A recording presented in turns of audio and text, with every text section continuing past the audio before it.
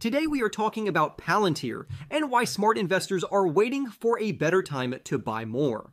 For more stock news updates, remember to press the like button, subscribe if you are new, and now let's get right into the video. Artificial intelligence software stock, Palantir Technologies is experiencing remarkable growth. Shares have surged over 80% during the past year, including a 20% gain over the past month. Wall Street is enthusiastic about the company's future prospects as its custom software proves valuable in practical applications, supported by its strong business performance. Despite the promising narrative, it is essential to evaluate the stock's investment potential after such a significant increase. Investors should always seek quality companies, but price is a crucial factor. So is Palantir stock still a worthy investment?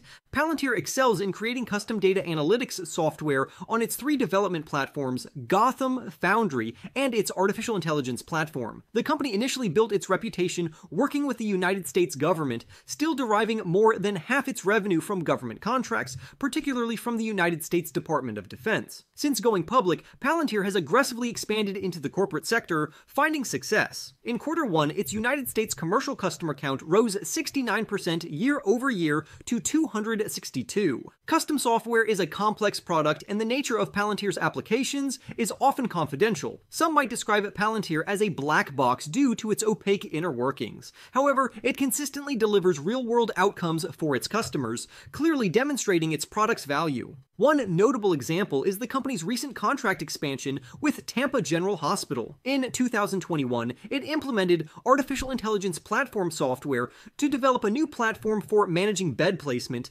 patient itineraries, and staffing. The resulting efficiency improvements significantly reduced patient wait times and stay durations. More efficient hospitals deliver better care and generate higher revenues. Tampa General initially used Palantir's software for a single use case, but has since expanded its use to over a dozen applications. This example highlights the value Palantir provides to its customers. The United States government continues to award Palantir new contracts, including a recent $480 million contract with the United States Army to develop an artificial intelligence system prototype. Although the specifics of its products may be somewhat elusive, the available evidence strongly supports Palantir's product quality. With offerings versatile enough to optimize hospital systems and operate cutting edge Army technology, Palantir has a vast market opportunity. When a company can grow its customer count by 69% in a year, it clearly indicates strong demand for its products. These factors contribute to the stock's recent momentum. The key question is the extent of future growth. Not every company that could benefit from Palantir's software can afford it. Contracts often exceed $1 million annually, so new clients are likely to be large enterprises with substantial financial resources. Even Tampa General Hospital is a significant entity with an estimated annual revenue of $1.1 billion.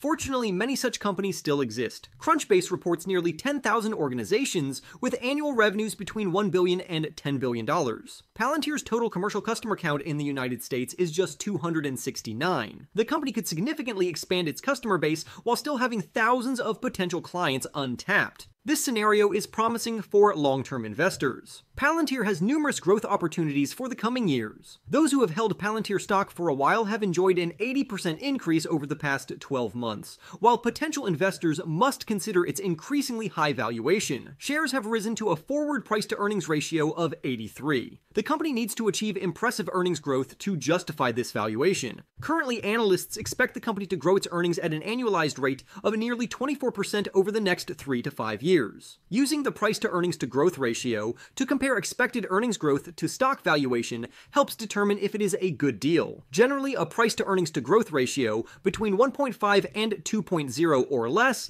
is considered a fair value for a great business. While Palantir appears to be a quality company, its price to earnings to growth ratio is nearly 3.5 today, suggesting the stock has become too expensive. Investors might want to wait for a price drop before purchasing shares. In the end, Palantir Technologies has seen an impressive rise in stock value driven by its success in custom data analytics software across its Gotham, Foundry, and artificial intelligence platforms. The company, initially focused on United States government contracts, has expanded into the corporate sector, achieving significant customer growth. Examples like the partnership with Tampa General Hospital illustrate Palantir's value. Despite its growth potential, with numerous large enterprises still untapped, the stock's current high valuation suggests that potential investors might benefit from waiting for a price pullback. For more videos on Palantir, remember to press the like button, subscribe if you are new, and I will see you in the next video.